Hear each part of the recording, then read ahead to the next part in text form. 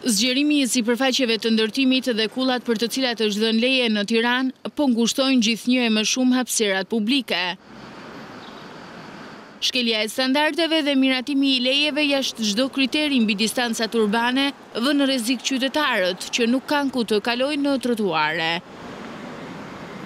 Por ka dhe raste si ky objekt në ndërtim që sa vjen dhe ngrihet, që ndodhet në rrugën Ibrahim Rugova, që ka zënë jo vetëm trotuarin, por edhe rrugën. Pa një projekt për datën e nisjes dhe përfundimin e punimeve, sheshi i ndërtimit në fjalë, ka zënë njërin sens të lëvizjes së mjeteve, duke e kthyer rrugën në një kalimshe. Përkundër showve mediatike të kryetarit të Bashkisë së Tiranës, Erion Veliaj, për çlirimin e hapësirave publike nga zaptuesit e paligjshëm, zënia e këtyre hapësirave vijon që të jetë problem shqetësues i banorëve.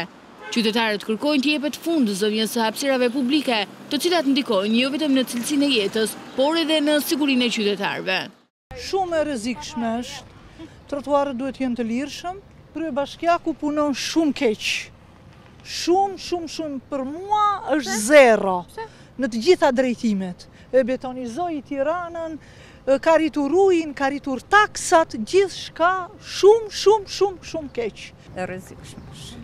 Unë për veten time them që duhet të të lirojnë. Po e bezdisshme është. Të detyron të kap makina aty në rrugë. A, ndëgjo. Çdo kryetar bashkie që vjen në fillim fare, bën parajsë, i prish ata, prish edhe të gjithë hapësirë publike që mund të quhet, çadra mhm. të... Kalon 4 vite, tani ata janë zënë, Me tapi janë. Edhe na thonë, kur të kaloni pagoni bile dhe qera për rrugën. A është normale kjo? Nuk është normale, po bashkia dhe një po fle gjumë.